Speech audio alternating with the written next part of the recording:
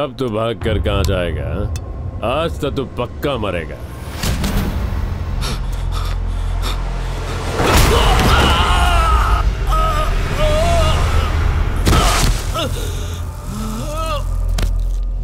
अपनी जबान से ज़्यादा हाथ चलता है। बोल वचन देने वाला लुखा होता है, समझा क्या?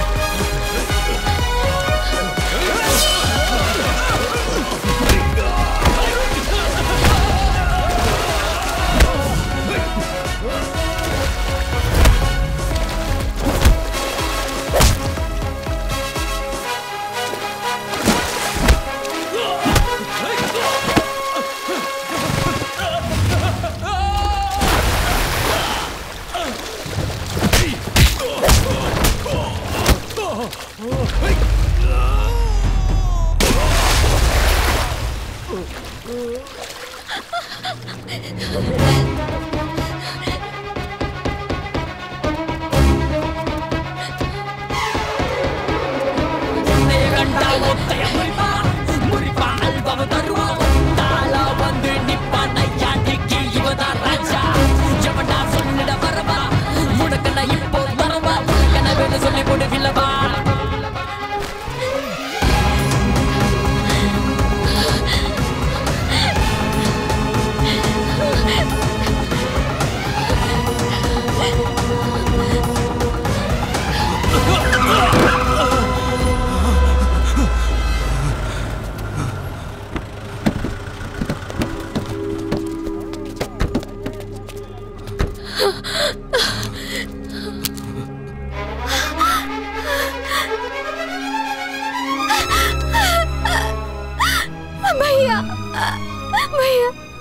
तेरी इतनी मजाल कि तूने अपने गंदे हाथों से मेरी बहन को छुआ।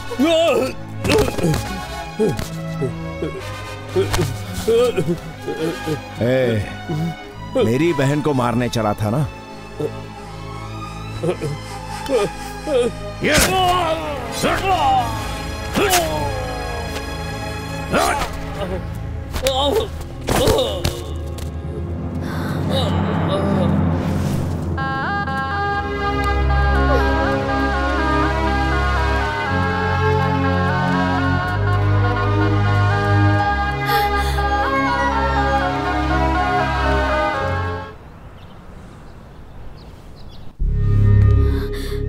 मैंने सोचा तेरे साथ बैंगलोर में रहेगी तो ये सेफ़ रहेगी। अगर मैं यहाँ नहीं आता तो क्या होता? दास अचानक हमला करेगा ये सोचा नहीं था भाई। मुसीबत आने से पहले फ़ोन करके आती है क्या? शाना दुश्मन बोल के हमला नहीं करता। सब तेरी गलती की वजह से हुआ। मैं इसे वापस घर ले जा रहा हूँ। भैया अब कोई मुसीबत नहीं आएगी। मैं देख लूँगा।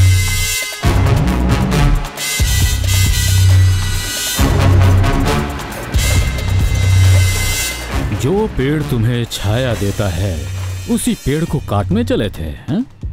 लेकिन तुम्हें यह नहीं पता, वही पेड़ तुम पर गिर भी सकता है। भवानी को मेरा प्लान तुम में से किसने बताया, बस दो मिनट में मुझे पता चलने वाला है। लेकिन अगर फ़ोन आने से पहले वो खुद सामने आ गया तो माफ़ कर दूँगा।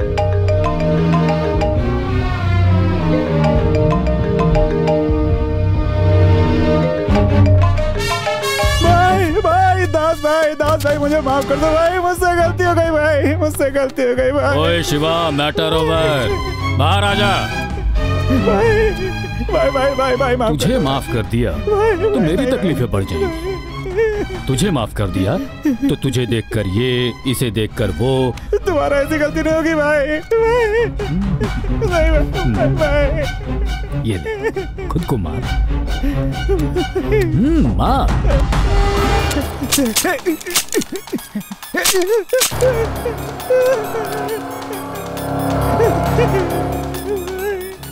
सोचा माफ़ कर दो, इसीलिए तुझे खाली कर दी। लेकिन तूने ये आखिरी मौका भी गवा दिया।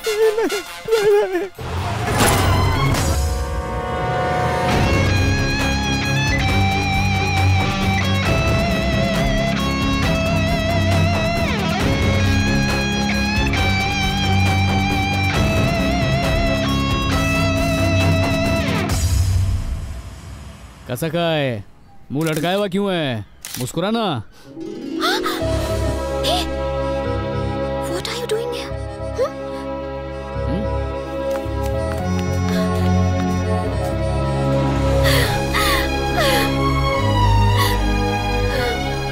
मुझे पता था तुम ज़रूर आओगे। उस दिन जिन लोगों ने तेरे पे हमला किया था कौन थे वो लोग? दास के आदमी थे। कौन वो केशवपुर का डॉन? हम्म। लेकिन वो तेरी जान के पीछे काय को पड़ा है? भवानी आज तक मेरी बहन ने मुझसे कुछ भी नहीं मांगा है पर आज बताया कि ये तुमसे प्यार करती है और तुमसे शादी करना चाहती है। मैं इसे बहुत बार समझा चुका हूँ कि ये मुमकिन नहीं है। मैंने अपनी माँ से वादा किया था कि मैं कभी शादी नहीं करूँगा ताकि अपनी बहनों की सही परवरिश कर सकूँ। पता है किसे मना कर रहे हो?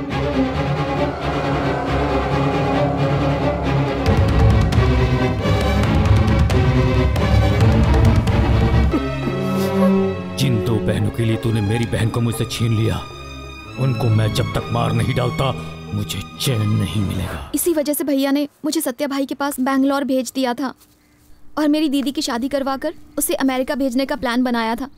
लेकिन मेरी दीदी इस बात की जरा भी परवाह किए बिना किसी के साथ भाग गई। सीता और गीता।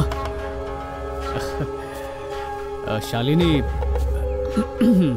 तेरी बहन को भगाने का बंदोबस्त मैंने ही किया था।